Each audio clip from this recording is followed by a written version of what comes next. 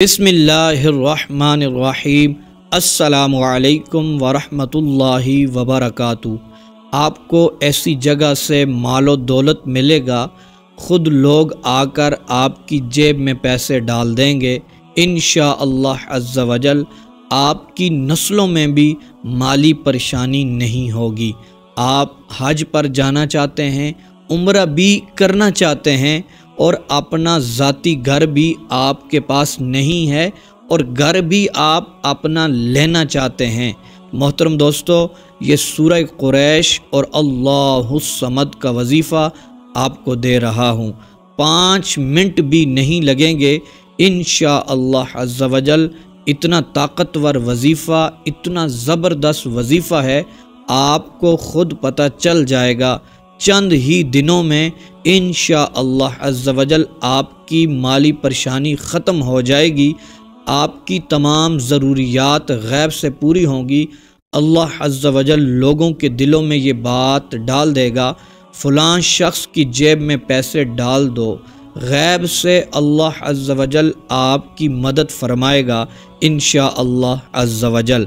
आप हज उम्र पर भी जाएँगे और बहुत ही जल्द आपको अपना ज़ाती घर भी मिल जाएगा। माली एतबार से तमाम टेंशनें दूर हो जाएँगी। लोग ख़ुद आकर आपकी जेब में पैसे डाल देंगे, क्योंकि अल्लाह अज्जवजल इसबाब ही ऐसे पैदा फरमा देगा। बहुत आसान वजीफ़ा है, तवज्जो से सुनिएगा।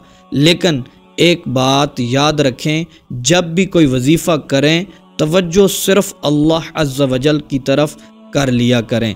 सारे ख्यालात जहन से निकाल कर वजीफ़ा किया करें। आपने ये वजीफ़ा मगरब की नमाज़ के बाद करना है।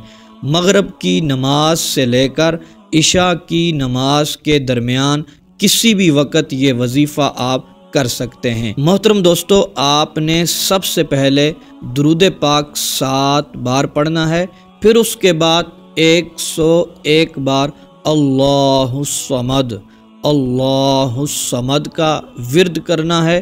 फिर आपने ग्यारह बार, सिर्फ़ ग्यारह बार सूर कुरैश लाफ़ी कुरैश। ये छोटी सी सूरत है, ये आपने ग्यारह बार पढ़नी है। उसके बाद आपने सात मरतबा दरुद पाक पढ़ना है।